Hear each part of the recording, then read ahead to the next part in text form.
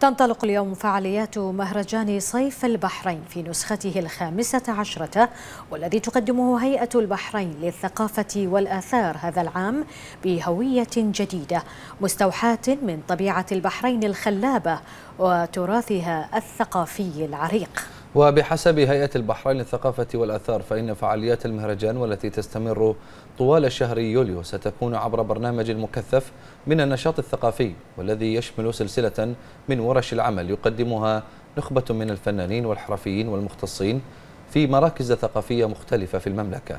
وأنشطة تتنوع ما بين العروض والفعاليات الفنية والترفيهية المباشرة على خشبة الصالة الثقافية.